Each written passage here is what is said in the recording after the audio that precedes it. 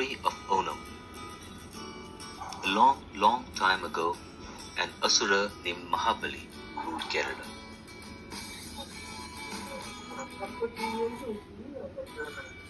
He was a wise, benevolent, and judicious ruler and was beloved of his subjects.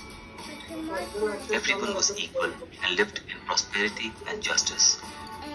Um,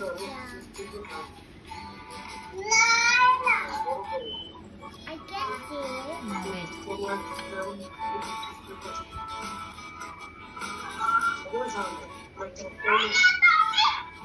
It is said that there was perfect equality, peace, and happiness in his kingdom. Wow. But the gods grew envious at his acts of benevolence and growing popularity. Wow. Lord Vishnu transformed himself into a dwarf called Vamana and approached Mahabali while he was performing a yagna and asked for alms. Vamana asked for a simple gift, the amount of land he could measure in three paces, and the king agreed to it. Vishnu, in the guise of Vamana, then increased his stature and with the first step covered the sky, blotting out the stars, and with the second straddled the netherworld. Realizing that Vamana's third step will destroy the earth, Mahabali offered his head as the last step. Vishnu's fatal third step pushed Mahabali to the netherworld, but before banishing him to the underworld, Vishnu, moved by his integrity and humility, granted him a boon. You're getting the fire. Since he was attached to his kingdom and his people, he was allowed to return once a year from exile.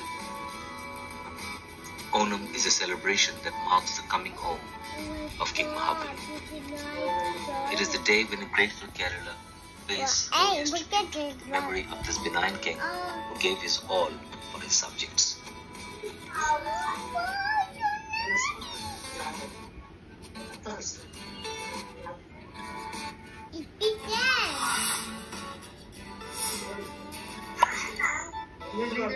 One more time.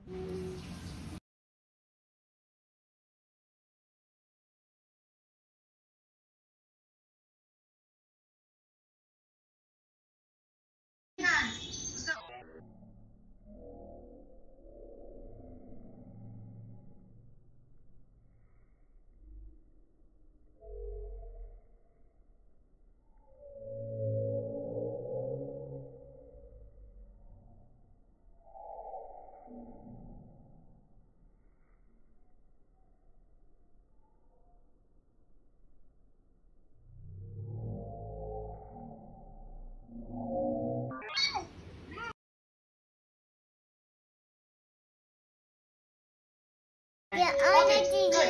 So I that was the story about